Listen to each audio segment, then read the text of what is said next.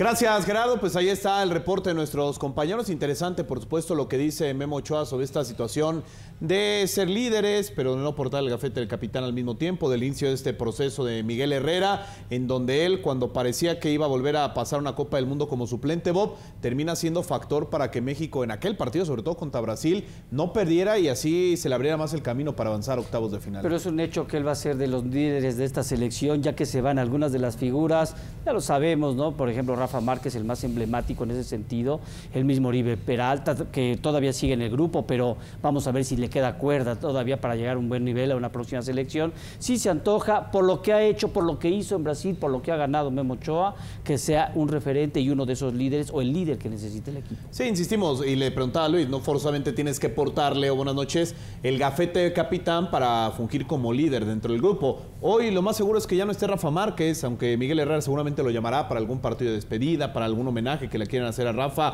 Ya no está tampoco Carlos Salcido. Se queda el Maza, pero él en, reiteradas ocasiones ha rechazado el gafete. Hoy tiene que recaer en Andrés Guardado, que mañana, que el sábado será el capitán, en Memo Ochoa, en jugadores que poco a poco van tomando su camino ya en esta selección nacional. Digo, al final de cuentas, le saludo con mucho gusto, termina siendo esa, ese doble mensaje entre el que quiere ser líder y el que tiene que ser capitán, el que tiene que hablar dentro del terreno de juego y el que tiene que ser mucho más ecuánime. Al final, Miguel Herrera quería que el capitán fuera otro. Sabemos que Miguel no va a dejar de capitán a los porteros. Le gusta más que sean los jugadores del terreno de juego de, la cancha como tal. y este doble mensaje lo sigo interpretando como pues, se lo dejamos a Andrés Guardado porque no había de más jugadores de experiencia que lo pudieran tener, más allá de que puede ser un tipo que hable, un tipo que imponga ante los demás lo que hace Guillermo Ochoa.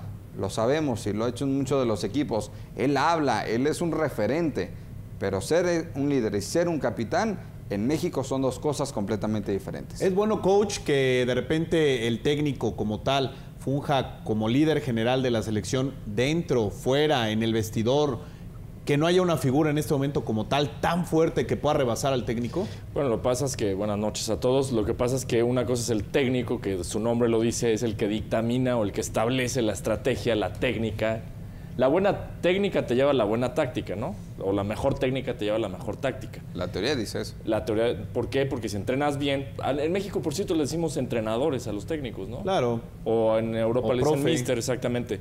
Pero siempre debe haber un líder en el terreno también. Ayer platicábamos de Manso, ¿te acuerdas? De Benjamín Galindo, de hay alguien que se establece y echa, se echa el equipo a los hombros o echa el equipo adelante. Y pasa a todos los deportes. Al rato platicaremos de lo de México en el Mundial de Básquet. Pero a mí me parece que debe haber un líder en el plantel. Porque muchos entrenadores que fueron jugadores se quisieran meter casi, casi, los, sobre todo los que acaban de ser jugadores, y pues nunca van a ser ese, nunca van a tener ya ese peso en la cancha porque ya no pueden entrar a ella. Necesitas tener un líder en la cancha. Bueno, nos metemos en el análisis ya de la selección mexicana. ¿Qué podría presentar este próximo sábado en el Levi's Stadium? Este es un bosquejo de lo que eh, seguramente Miguel Herrera mandará al terreno de juego. Acá lo tenemos a continuación con Guillermo Ochoa en la portería, evidentemente. Irán Mier, el Maza Rodríguez Alanís, que recibirá su oportunidad en selección nacional. Pola Aguilar y Layún por las bandas. Herrera Vázquez y Guardado, el medio campo de la Copa del Mundo, junto con los dos delanteros, Oribe Peralta y Giovanni Santos. En teoría, Bob, Leo, Alejandro, es lo mejor que tiene México en este momento para presentarse ante una selección muy competitiva como es la selección chilena. Y lo de Irán Mier, lo de Alanís, como esos jugadores que van a llegar en eh, lugar de otros como lo de Rafa Márquez en su momento y lo de Héctor Moreno que terminan quedando en un costado. Me parece que son los cambios naturales, lo mejor que tiene y al enfrentar un equipo, un equipo como Chile que va a llegar con lo mejor, tendrá que presentar lo mejor la selección mexicana como respeto. En el caso en la defensa central es un esquema que se me antojaría incluso para haberlo presentado en un partido de Copa del Mundo eh, porque no está Rafa Márquez, insisto.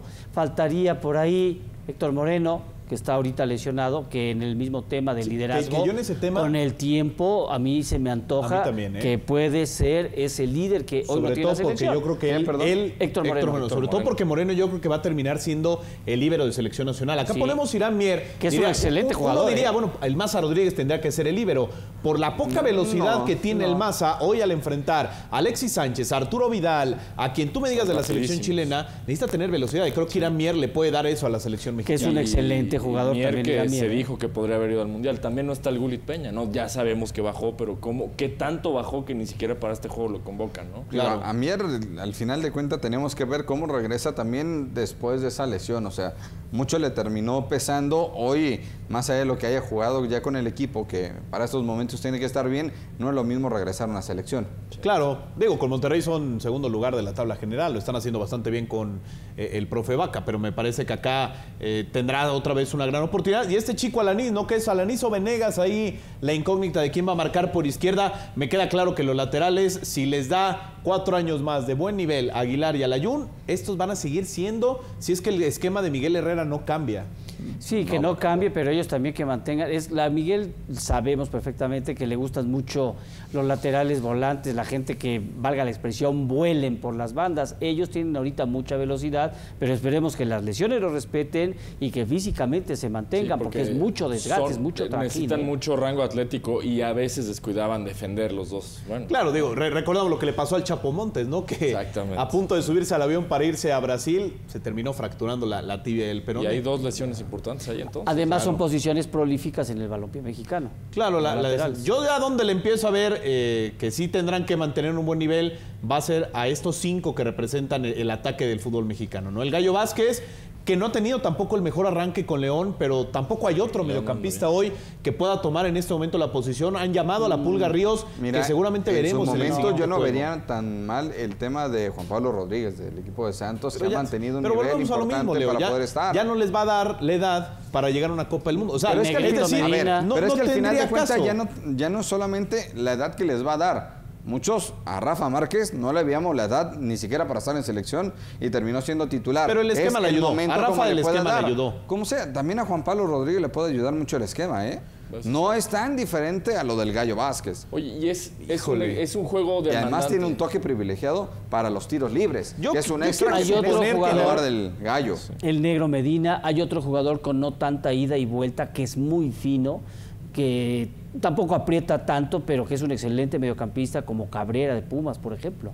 Claro, de que Pumas, también las sí. lesiones provocaron que no, eh, eh, no hicieron un selección? proceso grande en, en selección Oye, nacional. claro, Pumas acá. que ya está erradicado el mapa prácticamente, ¿no? De lo que fue Pumas, cuando convocan ya a alguien de Pumas. Pumas y. Chivas borrados completamente Borrados, cuando es- eran eh, distribuidores oficiales de futbolistas a selección nacional. Herrera que pasa por un extraordinario nivel en la Copa del Mundo fue a mi parecer el mejor futbolista que presentó México. Con el Porto es titular indiscutible. Junto con Ochoa. El caso de Andrés Guardado, que pues jugó en el Leverkusen pocos minutos a préstamo, regresó al Valencia, ahora se va a Holanda y lo está haciendo muy bien y difícilmente alguien también le puede tumbar esa posición a Guardado hoy, hoy en Le, día. le vino conviniendo el irse al PSG. Me parece que, a diferencia de lo que habíamos visto con el Leverkusen, hoy le va a beneficiar muchísimo más a Andrés Guardado tener esa posibilidad de frente porque le llenó el ojo a Miguel Herrera. O sea, más allá de lo que ha presentado, Guardado le ha llenado el ojo a cada entrenador que ha llegado a la selección mexicana, ¿eh? Sí, y, y adelante Bob, Peralta y Dos Santos, ¿no? Pero yo no, no recuerdo, Bob, hace cuánto no teníamos tres centros delanteros en la Liga Española, en la liga, una liga muy competitiva, independientemente de que Chicharo vaya a ser banca o que Raúl Jiménez tampoco le tenga asegurada la titularidad. Vela también Eh, está, eso es ¿no? extraordinario, ¿no? Ver si van a convencer a Carlos Vela. O sea, tendrías cuatro delanteros para cubrir una posición que siempre se le ha complicado. al Y ahorita el Cubo. Torres, que también va a estar buscando su Y, de oportunidad. Y el Chuleta, ¿no? Y de También. los cuatro, Y el ¿quién hace gol? Ah, bueno, en algún momento tendrán que despertar. Ah, no, pues qué bueno. Pero en algún yo- momento yo- tienen yo- que yo a despertar. lo que pero voy- en ese- yo a lo que voy es que instante, están- ¿quién están- lleva el están en una liga muy goleador? competitiva. Los va a tener que despertar Putin a este paso. yo Es- creo. están en una liga muy competitiva los cuatro. Tampoco tendría mucho problema México ahí para encontrar a los A delanteros. ver, ¿qué le faltó a la selección proceso. mexicana? ¿Quién fuera el matón durante el Mundial? Eso también. Peralta metió un gol y se fue. O sea, la verdad es que se fue. Ahora, Pero entre todos colaboran, ¿no? Es entre los cinco que están ahí adelante. es un juego demandante para México, pero ¿qué tanto sirve? Porque ya es otra etapa, evidentemente, muy rápido si lo quieren ver. Pero ¿qué tanto sirve esta línea- estas líneas que pone eh, Miguel Herrera de cara a Rusia 2018? O sea, ¿qué tanto va a servir esta prueba para ir viendo quiénes le van a funcionar en Mira, este de, de estos, de estos, que, acabamos, de queda estos que claro. acabamos de ver, júralo que por lo menos dentro de dos Gio. años llegan a arrancar la eliminatoria. ¿eh? A ver, eh, lo que se va a buscar es la Copa Oro. El Todos los que están ahí. los La prioridad es Copa Oro y la Copa América. Bueno, lo más más seguro es que la vaya a jugar con la sub-22. No, pues ya lo dijo Héctor. Por eso, no hay de al final de la cuentas tiene que ser así. No hay de otra. que es lo más cercano ahorita, pero respondiendo en cuanto al partido contra Chile, en una baraja internacional es de muy buen nivel el Sí, enfrentar claro. a esta selección. Oye, 25 años después de lo del Condor Rojas, ¿eh? Bueno, vamos a ir a una pausa, regresamos para analizar a la selección chilena de fútbol. Volvemos a través de Deportes.